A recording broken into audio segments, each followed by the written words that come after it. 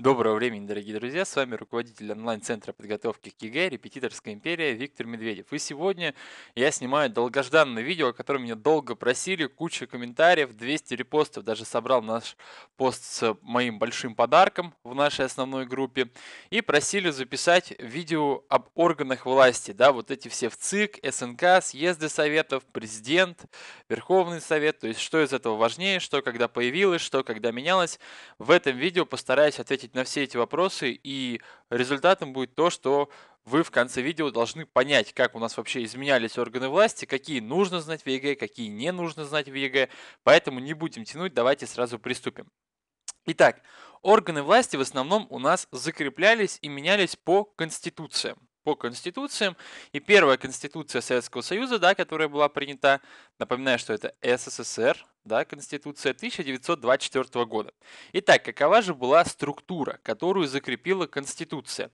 Высшим и самым главным органом власти органом законодательной власти прежде всего, у нас был Всесоюзный съезд Советов. Вот это прям супер важно запомнить. И если вы где-то встречаете Всесоюзный съезд Советов в каком-нибудь там источнике, да, например, в 21-23 задании, или в тестовой части, и вот видите такой Всесоюзный съезд Советов, то 100% это до 1936 года, потому что потом он был заменен. Ну вот что такое Всесоюзный съезд Советов? Да, уже из названия понятно. То есть со всего Советского Союза. А изначально в него входило всего лишь четыре республики. Это э, РСФСР, это Украинская республика, Белорусская республика и Закавказская. И Закавказская. Можно сокращенно ЗУБР, да, такую мнемонику определенную применить. И то есть со всего Советского Союза у нас съезжаются люди, они съезжались достаточно нечасто. Иногда это было раз в год, иногда это было э, там пару раз в год, но в основном раз в год они съезжались для принятия каких-то супер важных документов. Ну, например, первый съезд Советов в 22 году он подписал у нас декларацию об образовании СССР, да, а третий съезд Советов у нас, например, принял Конституцию. Вот, поэтому съезд советов это такой, да, это самый, безусловно, важный орган, но он не постоянно действующий. Это вот просто со всего Советского Союза съехались представители всех республик и приняли какой-то важный документ. Да, и тут возникает, конечно, вопрос, а кто же в остальное это время у нас, да, правит? Э, мы же не можем раз в год всего собирать орган законодательной власти, должен же кто-то быть еще. Поэтому, пока съезд у нас не съезжался, ну вот в перерывах между съездами, а это целый год, у нас а, высшим законодательным органом власти был Центральный исполнительный комитет. Вот, у него были определенные полномочия в исполнительной власти, но по сути это высший орган законодательной власти, и это иногда сбивает с толку, потому что он вроде как исполнительный, да, полномочия у него законодательные. Вот, вас это не должно сбивать, просто запомните, что был такой орган, ЦИК, вот, который осуществлял свою деятельность между съездами советов.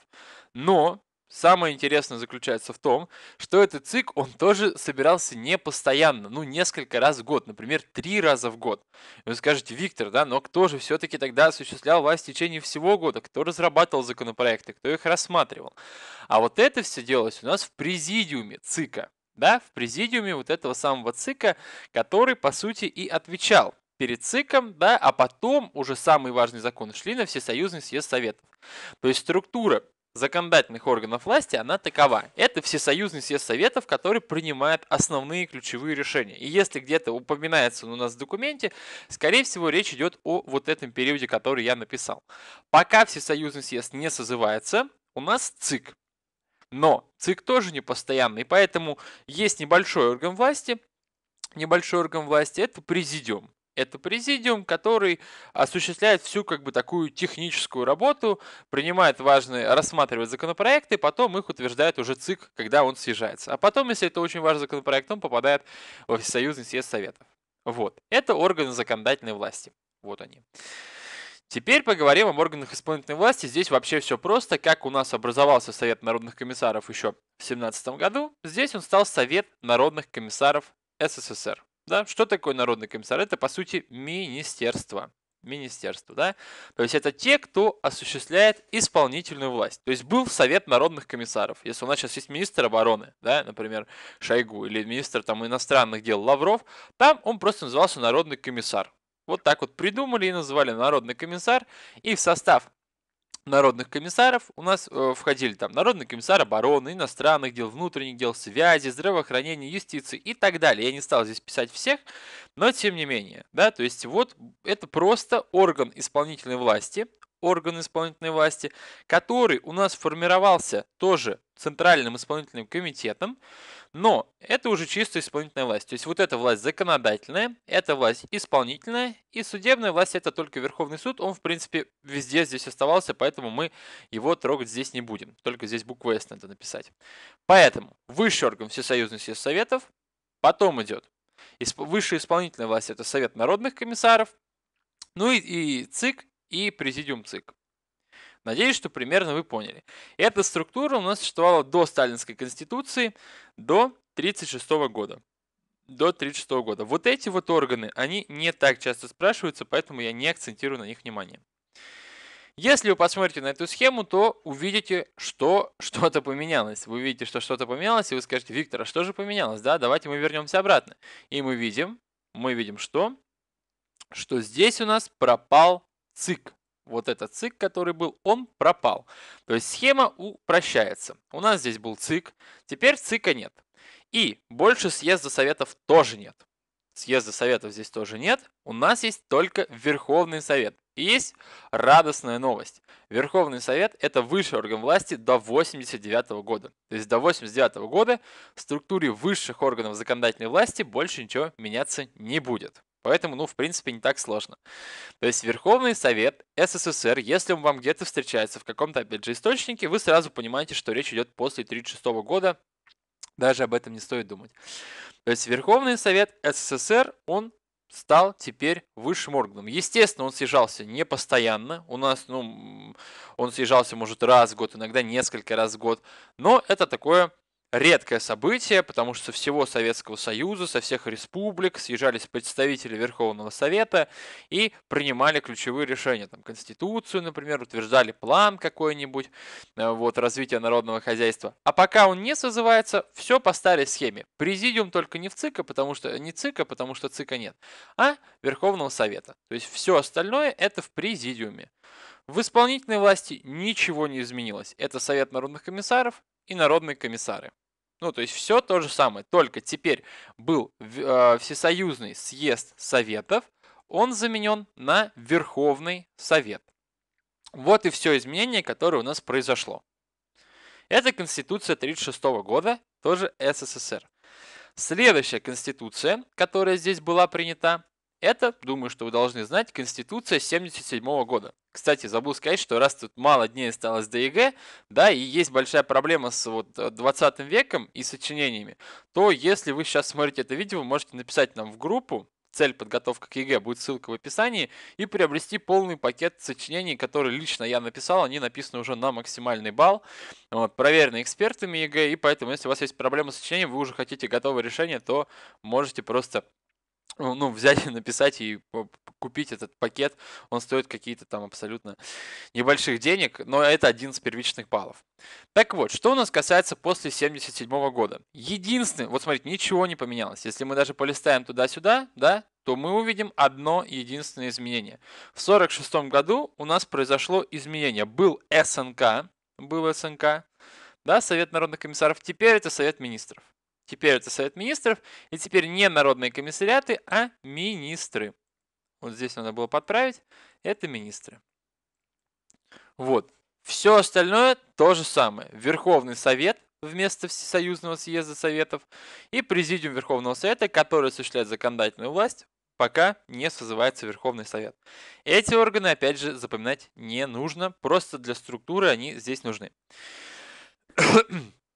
Ну и мы с вами сказали, что до 89 года эта структура не менялась. В 89 году у нас произошло супер кардинальное изменение. Да, если вы к нему готовы, то мы к нему приступаем.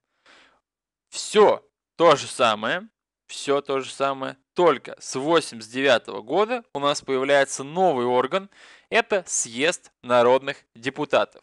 Съезд народных депутатов, который был образован в 89 году. И теперь, и теперь именно этот съезд народных депутатов, он становился высшим законодательным органом. То есть что такое съезд народных депутатов? Это примерно то же самое, что мы с вами разбирали в самом начале.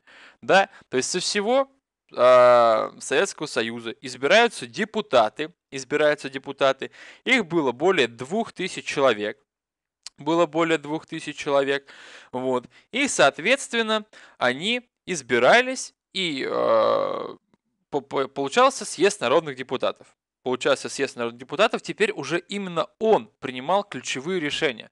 Вот все ключевые решения, о которых мы сейчас дальше скажем, принимал, принимались именно на съезде народных депутатов.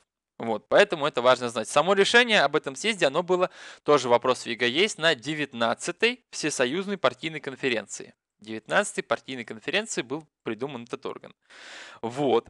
А Верховный Совет теперь был, ну, съезд вы тоже понимаете, это две с лишним тысячи человек, они не будут каждый день съезжаться. Представляете, со всего Советского Союза две тысячи человек, да?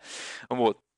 Это тоже не очень удобно. Поэтому теперь Верховный Совет, который до этого съезжался несколько раз, он у нас стал постоянно действующим парламентом. А президиум уже практически не заседал. Практически не заседал. То есть все то же самое, как и на прошлой схеме. Если вы посмотрите, небольших тут отличий нет. Все то же самое. Просто сюда добавляется съезд народных депутатов, который теперь как Верховный Совет съезжается несколько раз в год. Да, съезд народных депутатов. Вот. Президиум не созывается практически, а Верховный Совет уже здесь постоянно действующий парламент это постоянно действующий парламент, который избирается как раз на съезде. То есть съехали со всего Советского Союза народные депутаты, сформировали Верховный Совет СССР, который теперь осуществляет законодательную функцию. Здесь все то же самое. Совет министров и снова министры. И теперь осталось всего лишь одно изменение. Всего лишь одно изменение. Надеюсь, что вы к нему готовы. Оно не суперсложное.